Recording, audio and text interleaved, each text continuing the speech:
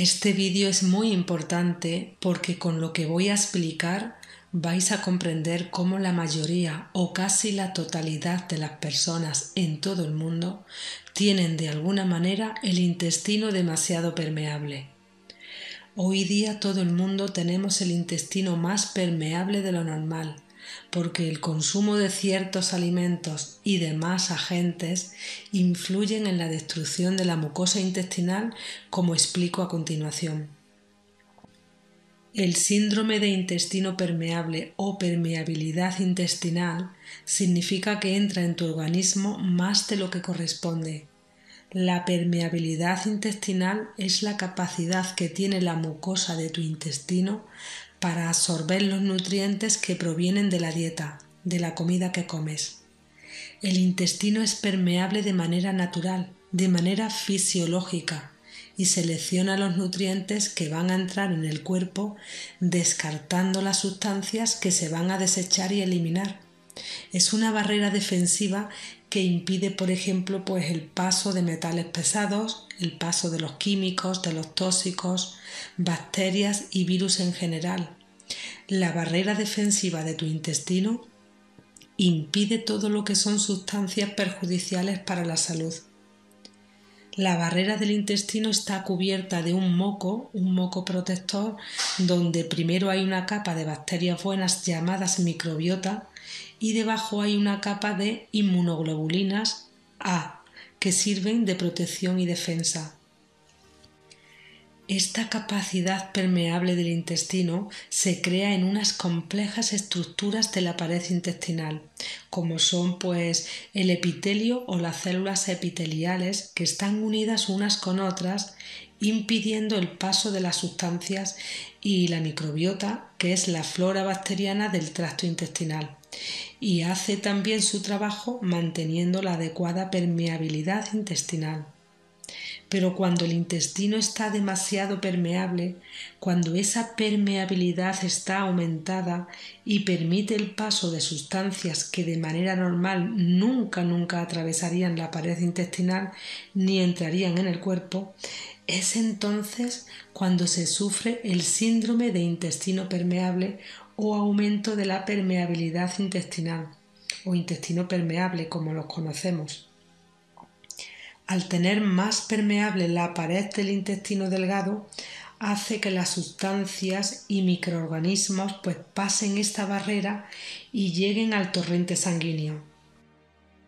Dependiendo del sistema del cuerpo al que hayan llegado estas sustancias indeseables, si es al sistema nervioso, al hormonal, inmunitario, articular, etc.,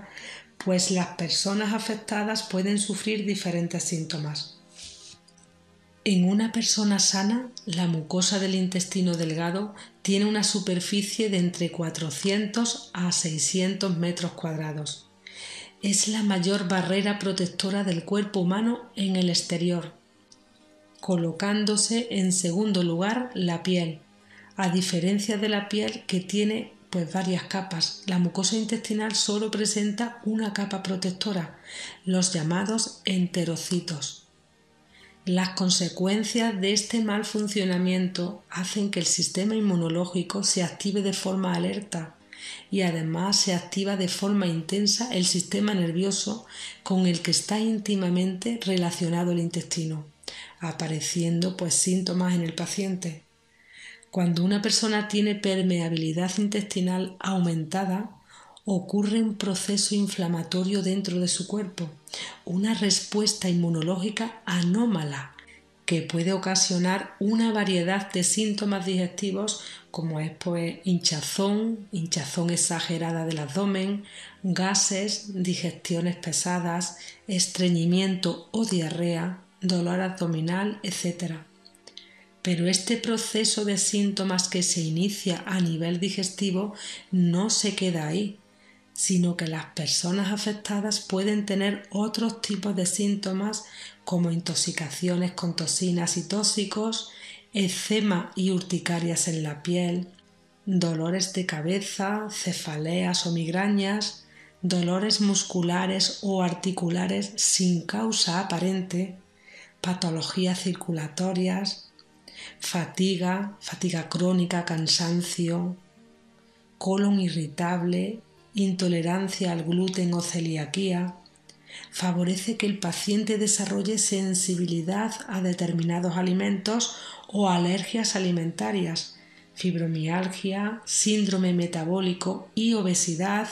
incluso mucha dificultad para bajar de peso, etc. Lo que más afecta al intestino y puede causar este exceso de permeabilidad, entre otras causas, es la celiaquía, la enfermedad de Crohn y colitis ulcerosa, infecciones bacterianas y víricas que provoquen gastroenteritis. También aumenta la permeabilidad intestinal el uso de fármacos, sobre todo el paracetamol y los antibióticos y también los antiinflamatorios que afectan a la microbiota natural alterando la permeabilidad intestinal. Esto también es provocado por el consumo de alcohol y algunas sustancias químicas que contienen los alimentos procesados de hoy día, como son pues los conservantes, aditivos, excipientes, azúcares de todo tipo, edulcorantes, colorantes artificiales en todo, en bebidas gaseosas y refrescos, en el café, etc. El intestino se puede proteger de manera natural, solo así, consumiendo alimentos sin química, comer variado comida cocinada en casa de forma natural, disminuir el consumo de fármacos y sobre todo hay que consumir determinados probióticos con glutamina. La glutamina es esencial para la mucosa intestinal y se encuentra en alimentos naturales pues como el pescado, la proteína del guisante, en los productos de la huerta naturales como son las crucíferas, los tubérculos, se encuentra en todos los frutos secos, en los huevos, en el maíz, en todas las legumbres, arroz integral, en la remolacha, en las espinacas, repollo, perejil, habas y también se encuentran las carnes rojas. Pero como todos sabemos, las carnes vienen cargadas de los preventivos que se inyectan a los animales antes de ir al matadero. La glutamina también produce una activación beneficiosa del sistema neuroendocrino y mejora la función del sistema inmune. No debemos olvidar que los quesos, yogur, leche y todos los derivados lácteos destruyen todo nuestro organismo porque el cuerpo humano no los puede descomponer correctamente. Y algo muy importante a saber es que los huevos, los huevos son una fuente de proteínas y ácidos grasos esenciales impresionante y muy buena. Los huevos de calidad ecológica son una magnífica fuente de glutamina, pero deben ser huevos de corral natural, gallinas bien alimentadas y que estén al aire libre. Todos vamos a tener al final que hacernos una pequeña producción de gallinas, una granja, para asegurar, una mini granja para asegurar nuestra salud. Yo no soy muy partidaria de suplementos, porque creo que toda nuestra salud debe venir de los alimentos naturales y del equilibrio físico y emocional entre el ejercicio físico y la relajación, manteniendo sobre todo amor propio, quererte y evitándonos a nosotros mismos situaciones negativas. La práctica de ejercicio moderado, estiramientos, relajarse y descansar y evitar tóxicos como el tabaco y el alcohol es necesario para el buen funcionamiento de nuestro intestino y de todo nuestro cuerpo. No hay que olvidar que el estrés y las emociones alteradas juegan un papel muy importante en la destrucción de la mucosa intestinal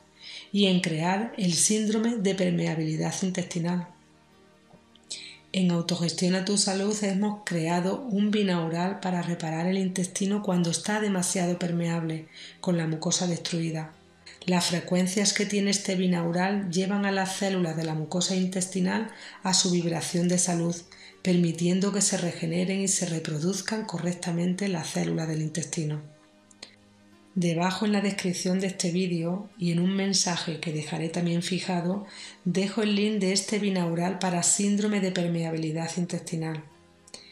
Bueno, pues ya solamente decirte que si te ha gustado este vídeo, compártelo con otras personas para ayudarlas a tener más salud y más calidad de vida.